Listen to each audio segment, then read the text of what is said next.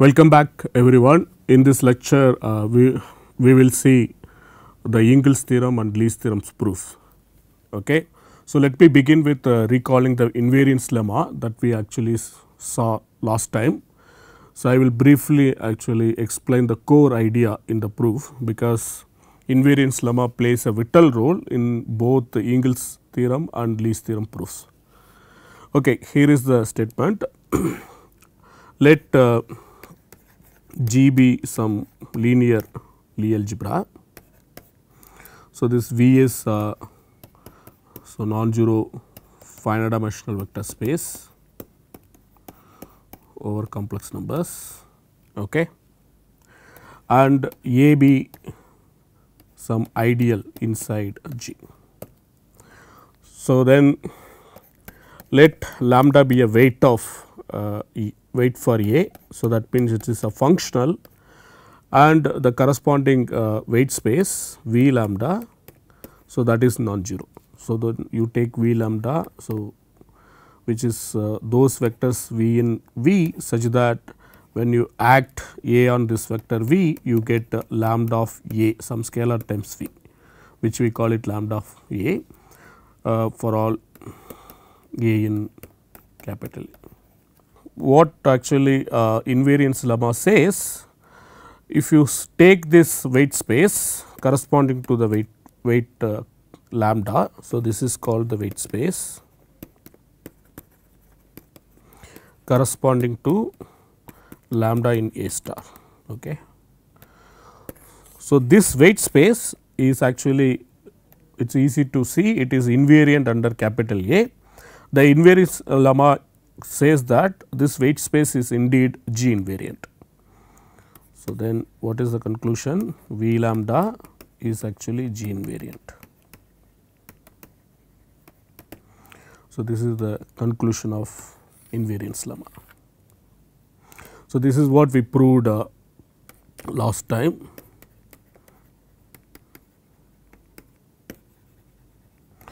So, we actually uh, just outline the core idea of this proof okay, which is actually very important.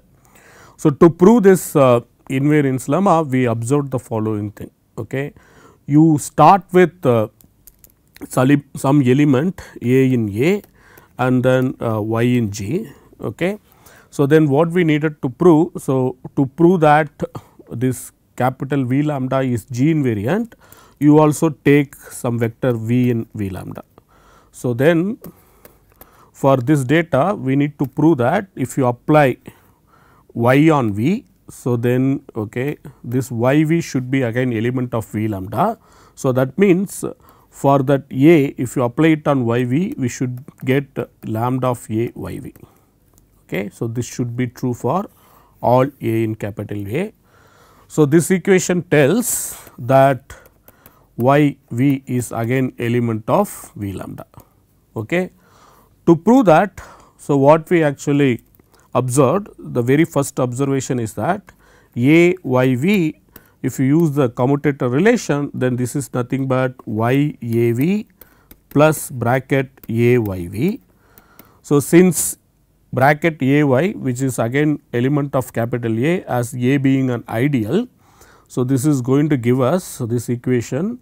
So, lambda of a y v plus lambda of bracket a v times v. So, in order to prove uh, a y v is same as lambda a y v. So, we need to only prove that uh, lambda of a v is 0 for all sorry a y a y is 0 for all a in a and y in g. Okay. So, this is the thing we need we need to prove for all a in a and y in g. So, to in order to do that what we did so, we wanted to realize this bracket A y as commutator A y minus y a. So, if we are able to actually find a invariant subspace of capital V, so that is actually invariant under both A and y. So, what is the task? So, the task was find a subspace U of V which is invariant under both A and Y. Okay. So, fix A in capital A and Y in G. So, then this is what we want to buy. And of course, that also should uh, uh, somewhat involve uh, the information that we have started with that is V in V lambda. Okay. So, that when you do the computation on that invariant space U, uh, the, the, especially the computing the matrix of A and matrix of Y and the matrix of uh, the bracket A y on this U. So, that should actually have this uh, information lambda of A y.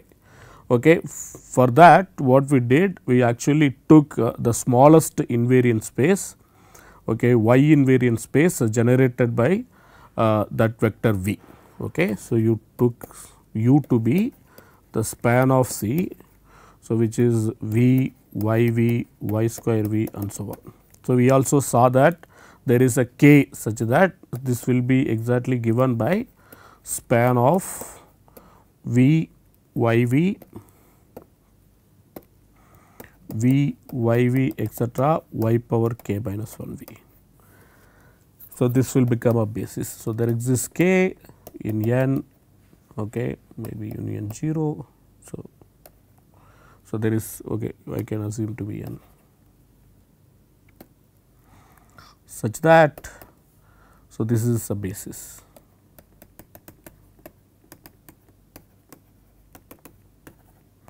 basis of. So, then uh, what we actually proved we proved that for any z okay not only for a for any z for any z in capital A this z actually maps u to u. Okay.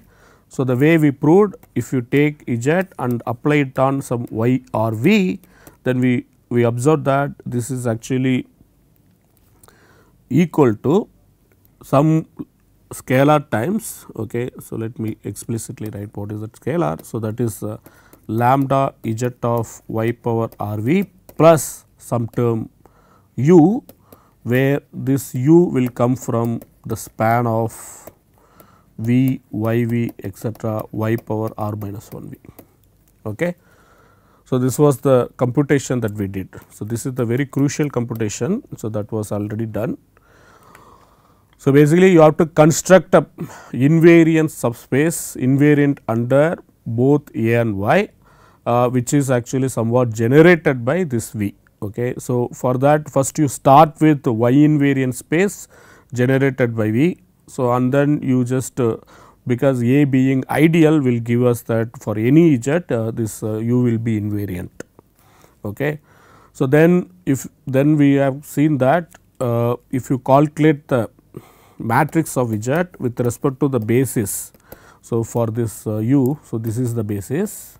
So, then we saw that this is actually of the form upper triangular with diagonal entries being lambda widget. So, this is some in particularly the trace of this z restricted to u is nothing but the dimension of u times lambda widget. Okay.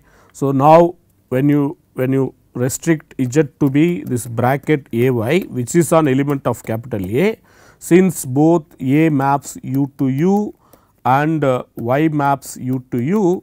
So, we get the trace of bracket a y restricted to u is 0 on the other hand, you get uh, from the earlier computation it is dimension u times lambda of bracket a y.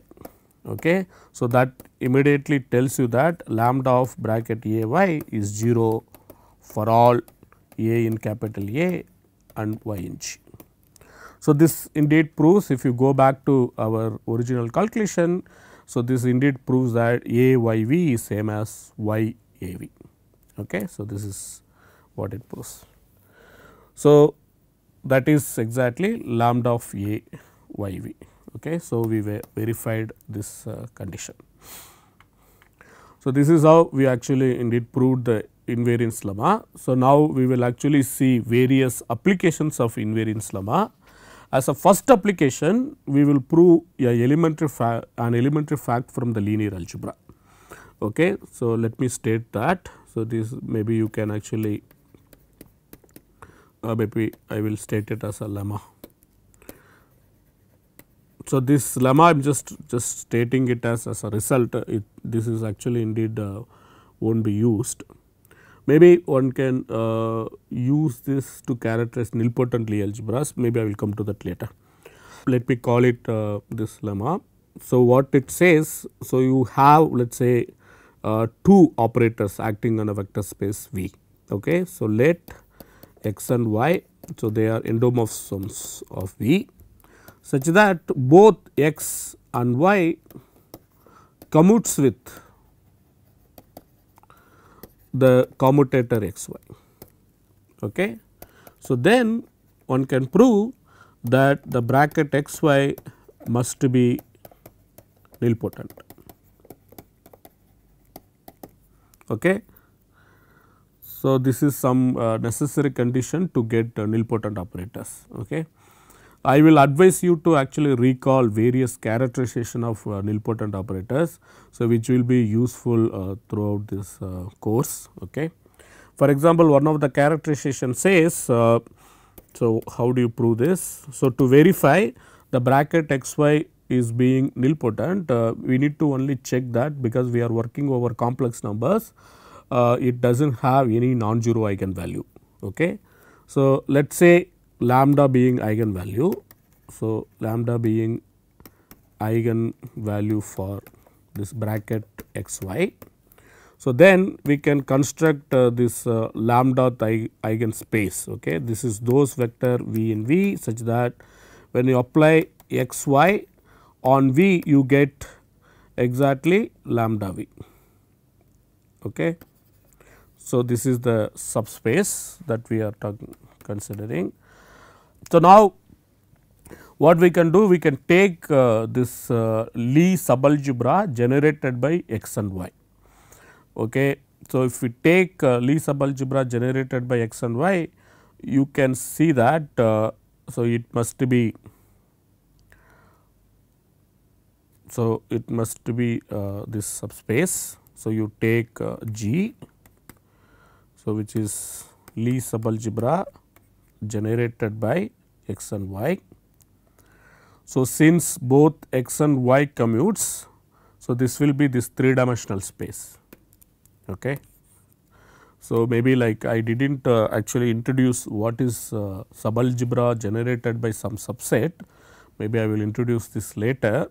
Maybe here it is not hard to check, uh, you can take uh, the span of these 3 elements okay, x, y and then the bracket x y. Okay. So, this is we will check this is actually a subalgebra of GLV. So, if you actually uh, compute the Lie products, okay, so because this is being actually subspace of GL of V, so the Jacobi identity we do not need to worry. So, all we need to verify is the successive brackets should be inside. Okay. So, let us check whether uh, those brackets are again inside G. So, for example, if I take x and y and then take the bracket, so it will be again inside there. Similarly, for y x. So, now all we need to check what will happen if you go further uh, up. Okay. For example, if you take x x x y, since x and x y commute, so this is 0 and similarly what will happen the y x y again that is 0. So, that is the given hypothesis. So, now in particularly if you take further uh, anything, so there is nothing actually more. So, so this computation tells us that G is a Lie subalgebra of GLV. Okay. Now, it is clear that uh, this span of this single element x y. So, this is actually is an ideal inside G okay? because if you take any element here that actually leaves this uh, subspace invariant by adjoint action. So, that means we can use the invariance lemma. So, what invariance lemma says for the ideal if you take uh, uh, this uh, lambda eigenspace. Okay. So, that is the weight space. So, for this uh, capital A this W is nothing but uh, lambda okay, weight space. So, in particularly both x and y leaves W invariant. Okay. So, now you can see that since both uh, leaves x and y uh, both leaves W invariant. So, if you compute trace of the bracket x y on W, so then this has to be x restricted to W times y restricted to W minus y restricted to W uh, times x restricted to W. So, that implies the trace must be 0 restricted on W must be 0. But on the other hand what is W? W is lambda weight space okay, or lambda eigenspace. So, that means this x y acts as scalar. So, if you compute the trace on the other hand that will be dimension W times lambda. So, that is nothing but the trace of x y on W, but our computation says this is 0. So, that implies lambda must be 0. Okay. Since uh, lambda eigenspace, so W must be non-zero. So, that means uh, lambda must be 0 using this equation. So, this proves that uh, bracket x y must have like only 0 eigenvalues. So, that means the bracket x y must be nilpotent.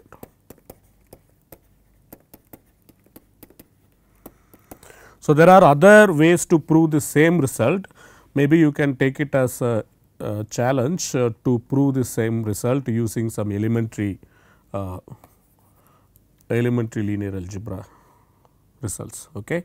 So, I will leave it to think uh, leave it to you to think about it.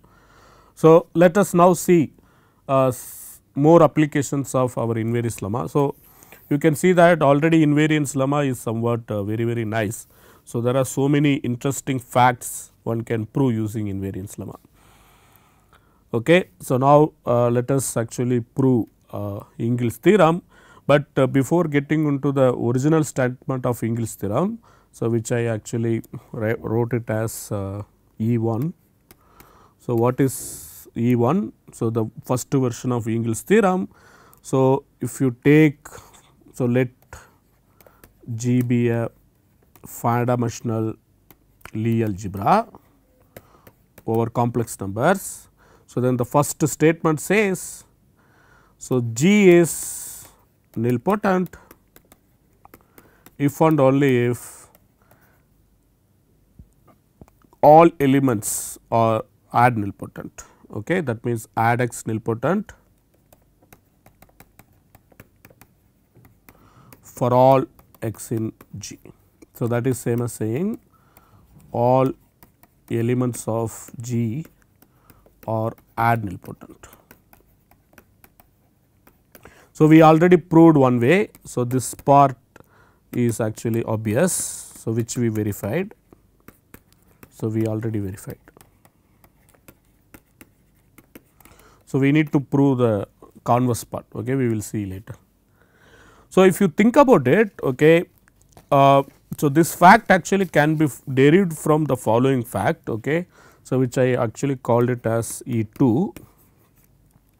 So, G is uh, now take it to be a linear Lie algebra okay so, then so if you have this hypothesis okay, so all elements of G are nilpotent as operators on okay, capital V.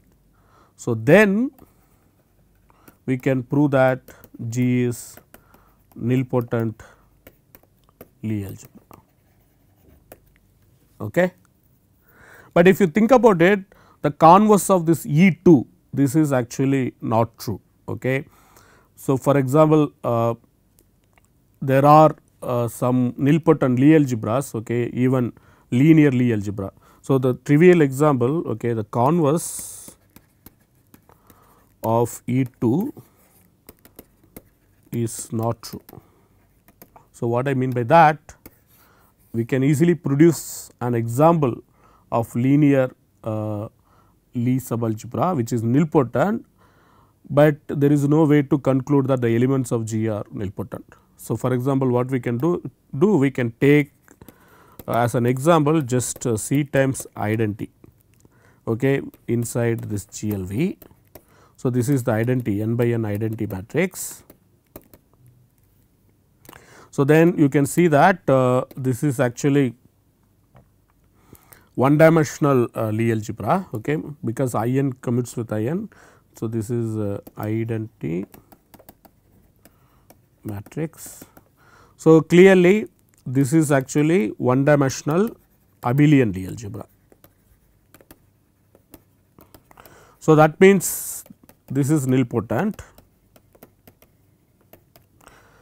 Lie algebra, okay. but there is no basis inside capital V for which this I n is actually like strictly upper triangular. So, in particularly it can be easily verified I n is not nilpotent. Okay. So, it is clear that I n is not nilpotent operator on capital. Okay. So, this is actually a slight warning. So, this uh, E 2 only the one way is true like if we assume that G is linear Lie subalgebra and then all the elements are nilpotent then we only get G is nilpotent not the converse. So, if we think about it okay this uh, version E 2 actually follows from uh, the following version. Okay. So, there is this uh, E 2 E 2 dash okay, which uh, which is what we actually prove. Okay. So, you start with a vector space again you assume to be non-zero space. Okay. So, and uh, let us say G is sitting inside GLV which is Lie subalgebra. Okay. Suppose each element of this G is nilpotent linear transformation on V. Okay. So, assume that each element of G is a nilpotent transformation. Okay, of V. So, then what we can prove you we can prove that there exists a basis capital B of V such that so each element of this uh, G okay. So, if you take the matrix of x with respect to this basis B okay, for each element of okay, for all x in G. So, this matrix x with respect to B. So, this will be strictly upper triangular. We, we say this dimension of VCM okay. and this is true for all x in x. So, you have a common basis B such that uh, the matrices of uh, each element of G with respect to this basis uh, will be strictly upper triangular. Okay. So, this is actually you can call it as a structure theorem of uh, finite dimensional nilpotent uh, Lie algebras. Why? Because we have actually uh, we indeed uh, realize that any uh, linear Lie subalgebra, any linear Lie nilpotent subalgebra as a subalgebra of uh, this uh, strictly upper triangular matrices.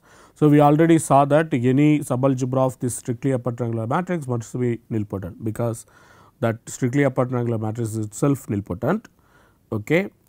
So, we are indeed uh, in, in some sense proving the converse but of course, uh, I am a lying a bit because we are not proving the converse as uh, like as I stated because if you start with an arbitrary Lie algebra Okay. So, then what happens uh, so far we have seen that only modulo the center we can embed that Lie algebra inside uh, some general linear Lie algebra. So, that is exactly comes from the adjoint representation.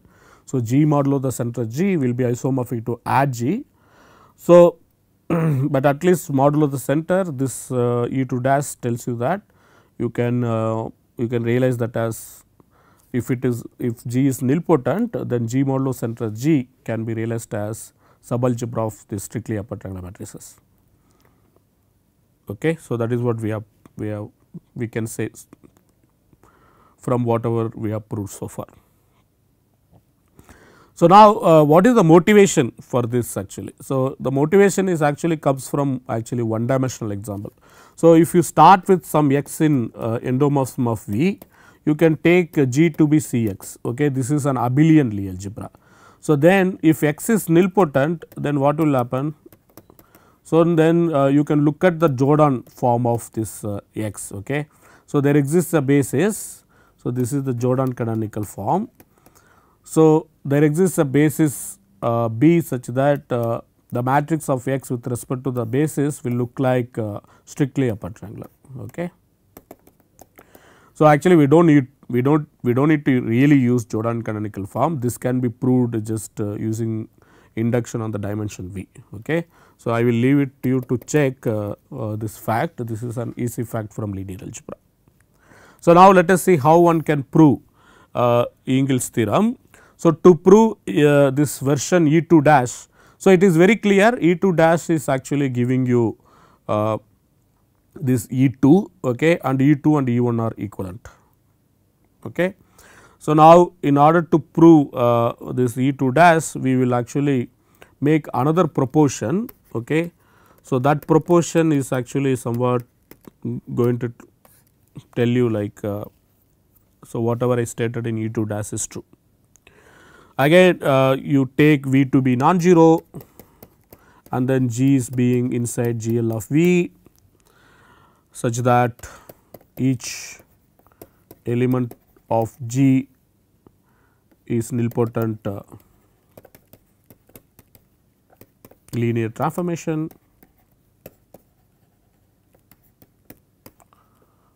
Of V then what we can prove. So, if you take nilpotent operator what is the important uh, uh, fact about the nilpotent operator the kernel of that operator is always non-zero that means 0 is always an eigenvalue and we have seen in uh, linear algebra the only eigenvalues are actually 0. So, that means uh, one can expect in this case if you want to prove that uh, this can be embedded inside strictly upper triangular matrix with respect to some basis then if you look at the strictly upper triangular matrix, the very first one one place the corner, so that will be 0. So, that means some basis vector of this B, so that should be annihilated by all the elements of G. So, that is what we are getting. Okay. So, that is what one actually expects and that is what this proportion actually tells us. So, if you start with a non-zero vector space G inside GL of V satisfying our hypothesis, then we can prove that there exists a non-zero vector V in capital V such that each element of this G will kill that vector. Okay. So, this is uh, one can actually uh, so using this proportion it is easy to prove that uh, whatever I stated in E 2 dash maybe you should take it as exercise and then try to do so, for time being let us assume this proportion. Let me tell you like our outline how one can prove E 2 dash from the proportion. So, if you have a vector v which is non-zero vector from capital V such that this x v is killed uh, is 0 for all x in G, then what you can do? You can actually take uh, this w, this is those vector inside V such that uh, x v is 0 for all x in G. Okay. So, then this is a non-zero space. Okay. So, then what do you can do? You can actually simply take V modulo W. Okay. This V modulo W, the dimension of this is actually goes down. So, the dimension of this is strictly less than the dimension of V. So, now what you can do you can use induction on the dimension of V to prove whatever you needed. So, for that what we need to do we need to actually see that. So, each x in G actually induces a map okay, which we can call it x bar. So, for each x in G, so there is a map x bar that is actually defined from x modulo sorry v modulo w to v modulo w. Basically how it is defined you take x bar and then apply it on some u plus w. So, this is just x u plus w. Okay. So, this is a well defined map why because suppose u plus w is same as u dash plus w then that will imply that u minus u dash is in w. So, that would imply that x actually will kill this u minus u dash. So, that means x u is same as x u dash. Okay. So, that means you get uh, x u plus w is same as x u dash plus w. So, so there is this natural induced map x bar from V modulo W to V modulo W. If x is nilpotent then it is easy to see that x bar is also nilpotent okay that I will leave it as exercise. So, since x is nilpotent so that implies x bar is also nilpotent. So, now basically you consider this g dash which is those x bar such that x is coming from g. So, where x bar is in inside this endomorphism of GL of V. So, GL of V modulo W. So, it is easy to see this is again actually a Lie subalgebra of GL of V modulo W consisting of nilpotent operators. So, by induction on this dimension of this vector space so, we conclude that there exists a basis. So, there exists a basis B of V modulo W such that, so this x bar with respect to this basis lives inside okay this looks like upper triangular maybe I will write the matrix.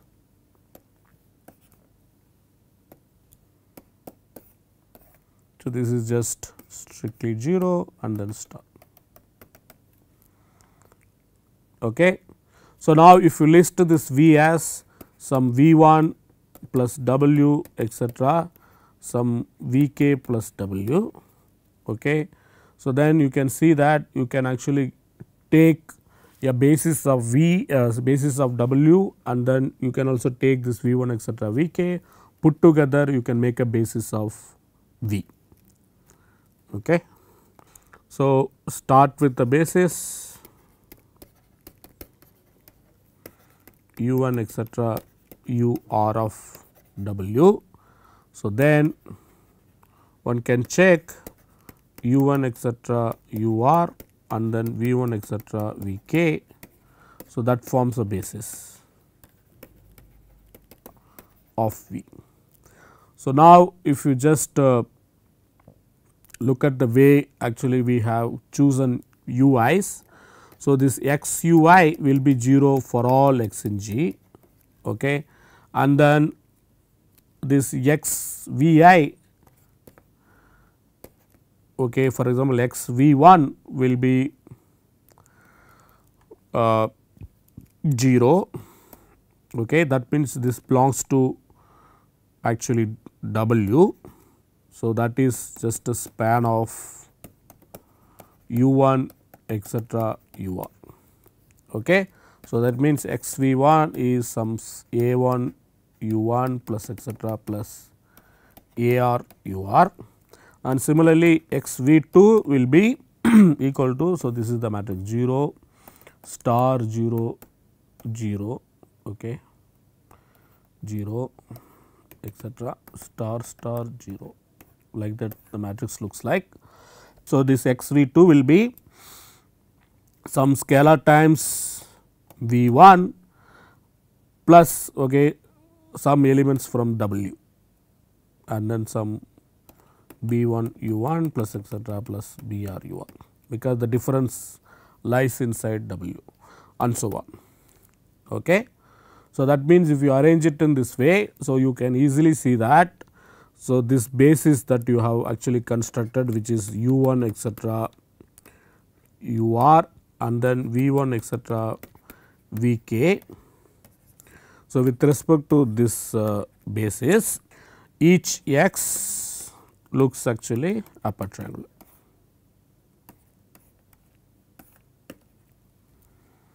Okay. So, that is very clear from the construction.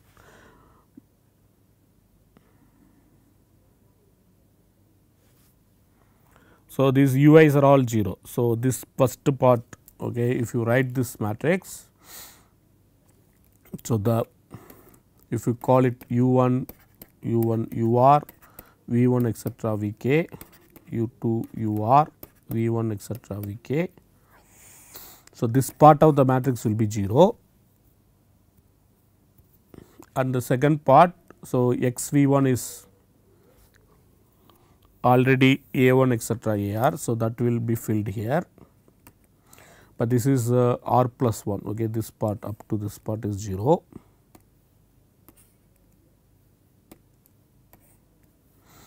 So, then then if you look at x v n this is all 0 and this entry is also 0. So, this is actually stable.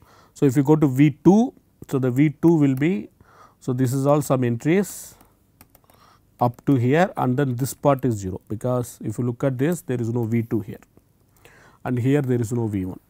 So, that is why you are getting actually strictly upper triangular matrix. So, this is some elementary fact from linear algebra. So, that you will be able to check comfortably.